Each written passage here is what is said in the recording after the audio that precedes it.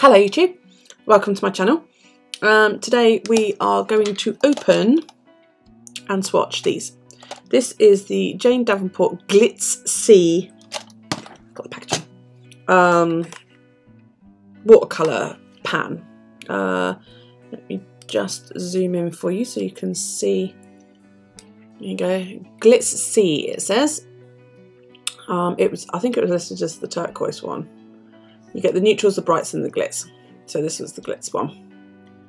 And this is what it looks like. Those are the colours. oh, excuse me. And there's the barcode if you need it. So yeah, that's as far as I got was taking it out of there. And um, get when you open it. This is your blending palettes, if you like. I really like to take mine off of there because I take this off of mine because it's a pain in the ass, but there you go. You also get this little card. Um, it just says, you know, Jane Davenport Glitz Sea Palette includes two metallic and a specially selected set of colours, which is is printed weird. It should be printed that way in my book, but there you go. Um, hello artist, this palette of fine watercolours features two metallic paints and 10 Glitz Sea hues. Use the reverse of this card to make a handy reference. I hope this fine little set of paints brings you big joy. Join me at janedavenport.com for painting tips, techniques and art making lessons. And then there's like a little mermaid. Now, you get that in every Jane Davenport set. The difference with this one is, it's the paper that they've used. These are the other two palettes. This is the neutral, and again it's but look it's actually printed around the right way on this one. Oh no it's not. It's, it's the same. Yeah. And it says exactly the same thing although she does go on about um but there being three primaries in this one. And then there's another bit. But this is a glossy card and it's the same in that one okay? Um so I often think that the colour might not necessarily be true because it's slightly glossy on these ones but you know, we'll see.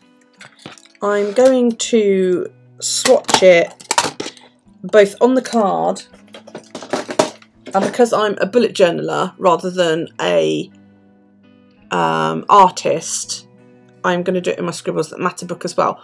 But I do have a mixed media pad and I will do it in here as well. So I'll do a lot of my swatches in here. That's my Gansai. Uh, that was some watercolour pencils. that was the um, last Jane Davenport one. That's the Brights. Um, I was going to do a video on that. and I recorded the entire video and then looked up to click start recording. I hadn't actually started recording. So, yeah. So, this is a Daler and Rowney mixed media pad. Okay. Um, ideal for all sorts. So let's get to opening them all which means 10 minutes of unwrapping the sodding things. And uh, I'll be back in a moment. A little hint for you. If you don't like your pans sliding from side to side once they're in here and I don't I can't stand it bend these in these bits okay? You can't stop the whole thing moving. All right it's designed to be removable this little bit inside okay? But if these bits you bend them in a little bit they'll hold your pans that much tighter and they won't slide from side to side because your pans aren't even when they're all in aren't even that long. So there's extra room in here but there's not enough room to fit a seventh pan in which is so yeah, I bend the things in and it holds them in place that much better. I found that out only recently. so yeah. I'm putting them in here in the order that they are on the card. Jane Davenport does not label her pans. Okay, it's a plain white pan. There's nothing on here. Prima put their um, number or the name actually on their pans and a couple of some watercolour makers on Etsy and whatever, they also try to um, put the the name on the pans as well, which I like. I don't like that Jane Davenport doesn't do them, but then I suppose once it's in place, you can't really see it. So yeah, you just ping them in, okay? So, here just next. I would rather as well that she left the um, sample card blank so that I can put them in the order that I want. But I suppose I could make my own. What I eventually plan to do is um, put them all into one big palette rather than have three individual little palettes because that just bugs me. To get some greens, finally. The other two palettes don't have any greens.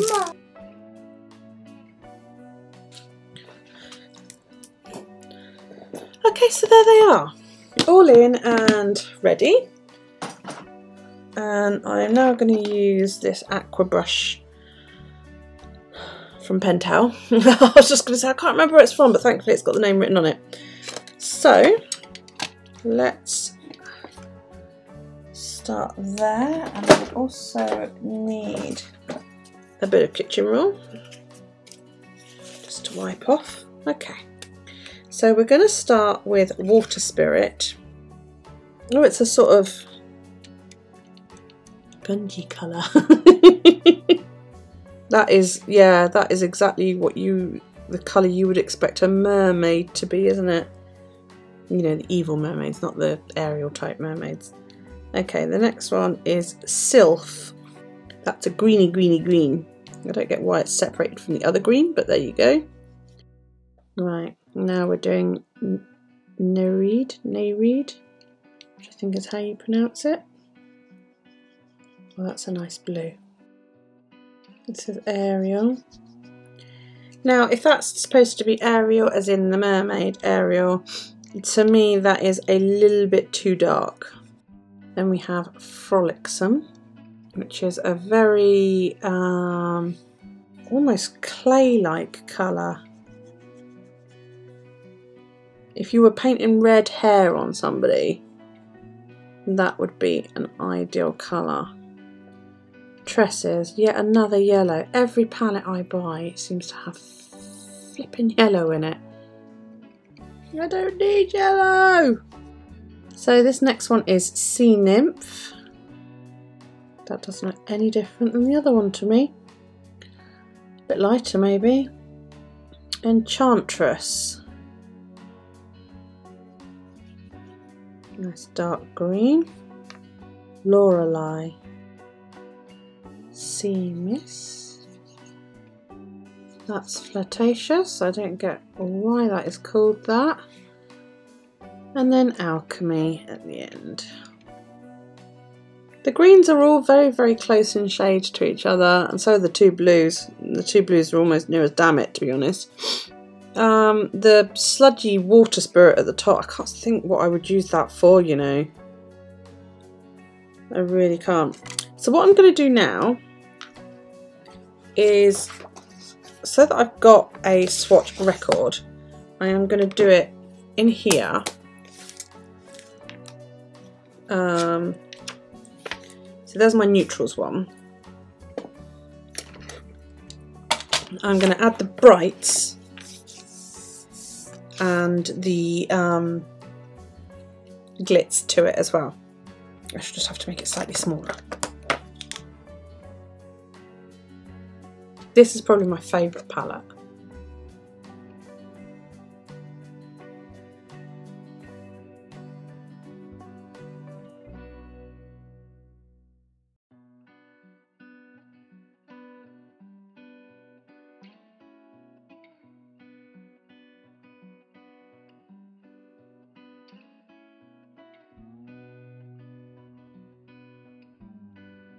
Okay. So, that is all of the Jane Davenport mini palette paints, if that makes sense. So, um, there are, I can see the shine in that one, the glitz, as it were. Um, I can't really see which other, which, unless it's supposed to be flirtatious, it doesn't really have a sheen to it. Um, so there are one, two, three, four, five blues. This is a sort of orangey yellow, but I'm going to count it in the yellow. So one, two, three, that could be a fourth. You've got some oranges, some sort of sandy neutral type colours in the brown spectrum. Um, there's a dove grey. There's one, two, three, four, five, uh, four, five, six. There's sort of six greeny, bluey, you know, these are green, that's green, that's more of a teal colour. I love this ink. It's a bluey black, it's fabulous. There's not enough purple. That's that's for damn sure. There's two purples and that's it, which is a real, real shame. Um, looking at it, flirtatious is too much like sort of spice watered down. Really, in my book, I just don't. I think that's a bit of a waste.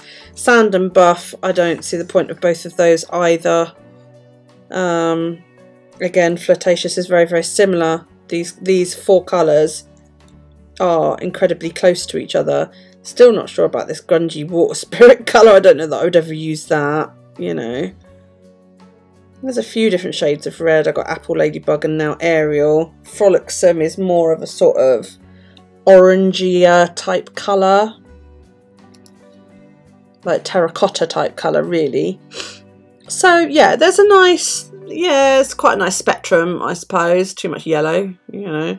How many bloody yellows does one need? But there we go.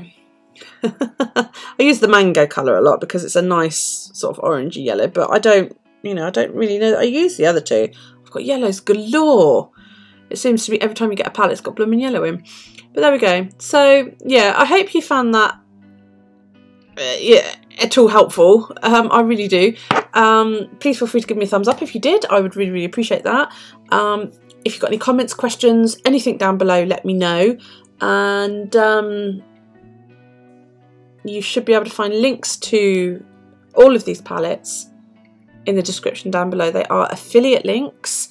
Um, it's not going to cost you any extra, but it might give me a couple of pennies if you click on it and you use it. They are UK affiliate links because I am in the UK. Um, I'll have to look into seeing if I can affiliate on Amazon.com. I don't know if I can do both. But even if you just click the link, it will give you an idea of what you're looking for. Okay, and you can copy the description over into Amazon.com. So there you go. Uh, click the book, you'll be subscribed, hit the bell down there, and you'll be notified, YouTube willing, when I upload new content. Thank you so, so much for watching. I really do appreciate it. Um, if you're new to my channel, you know, please consider subscribing. I do bullet journal videos mostly. I do the occasional out and about of my little boy. Um, you know, and I review things when I buy them or if people send them to me, which has happened a few times and I'm always extremely grateful. Uh, yeah, but there you go. Take it easy, ah, and I'll see you soon. Bye.